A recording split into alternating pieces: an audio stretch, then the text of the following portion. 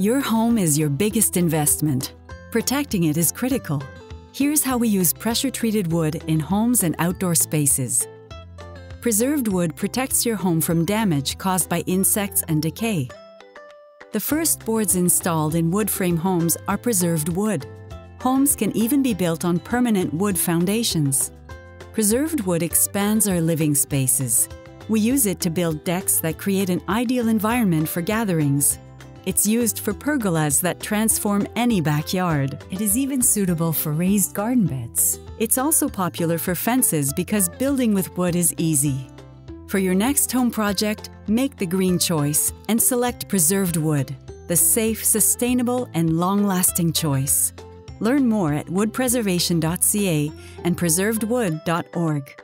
And stay connected.